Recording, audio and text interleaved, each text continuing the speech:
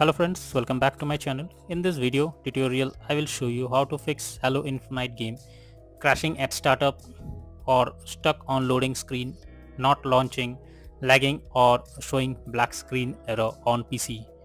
So let's go through it.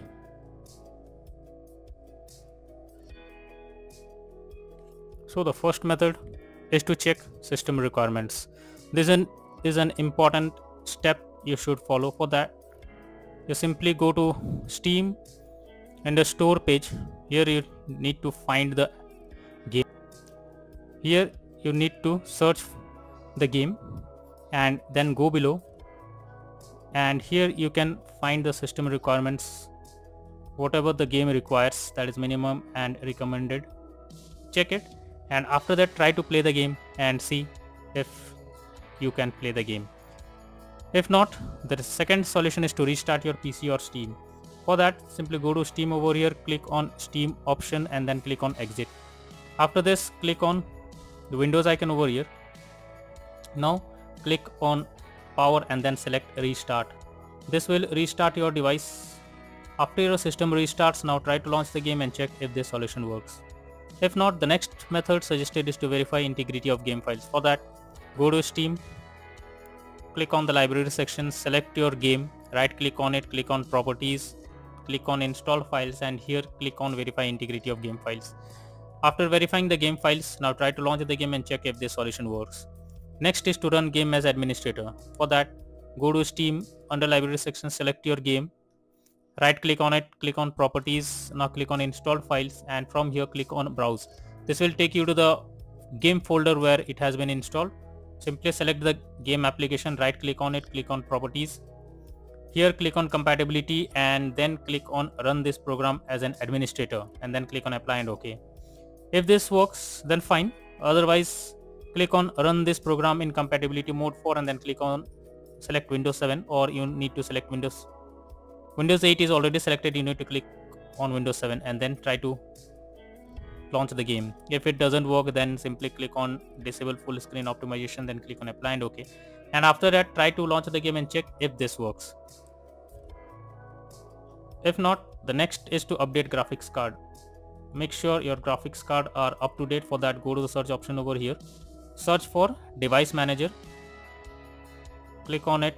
After it opens, go below expand display adapters select the graphics card right click on it and then click on update driver option and after that click on search automatically for drivers this will install the latest drivers on your system and after that try to launch the game and check if this works or else I have also provided the link in the description from where you can easily download and install the latest drivers on your PC.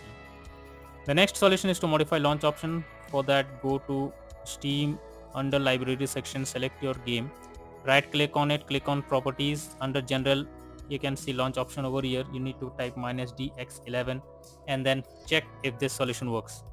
If it doesn't work then type minus dx12 and then see if it works. Or else you can also type minus windowed and then try to launch the game and check if this solution works for you. Next is to disable in-game overlays. For that go to steam under library section select your game right click on it click on properties.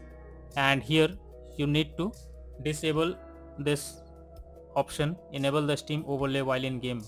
So simply disable it and then after that try to launch the game and check if it works.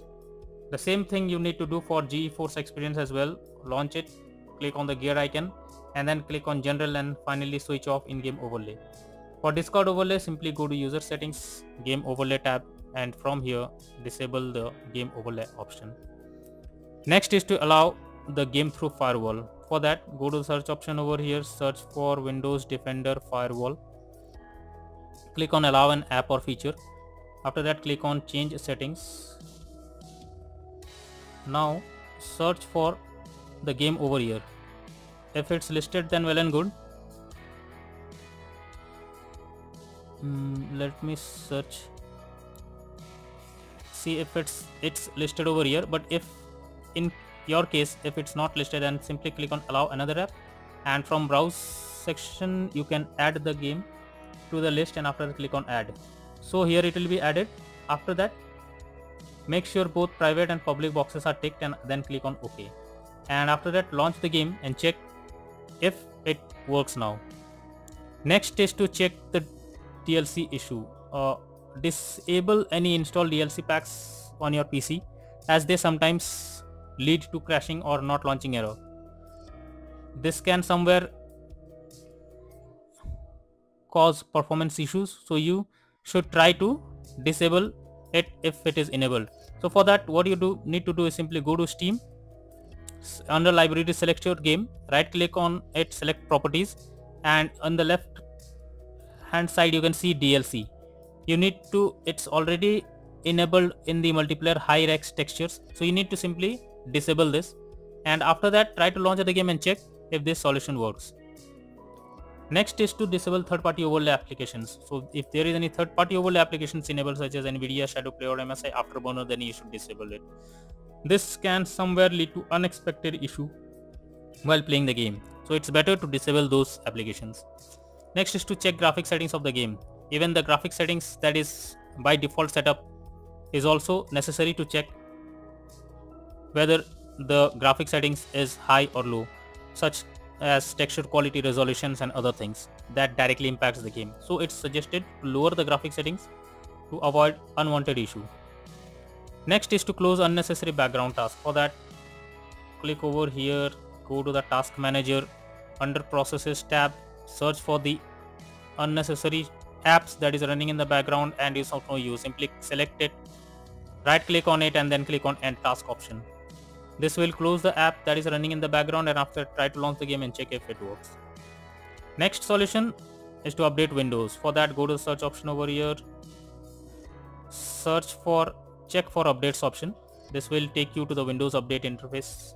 Here you need to click on check for updates option and it will check if there is any update available. After you update your Windows to the latest version, now try to play the game. Hopefully this solution works.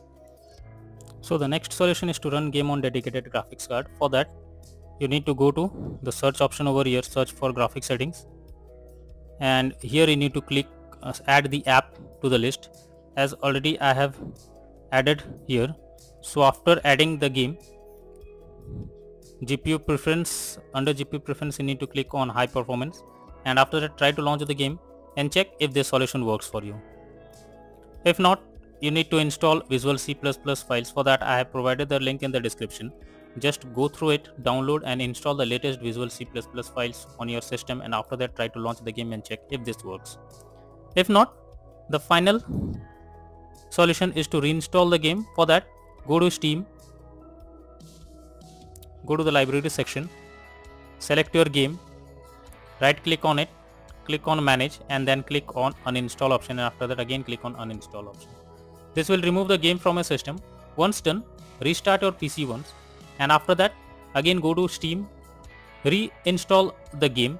And after that try to launch the game and check if this solution works for you.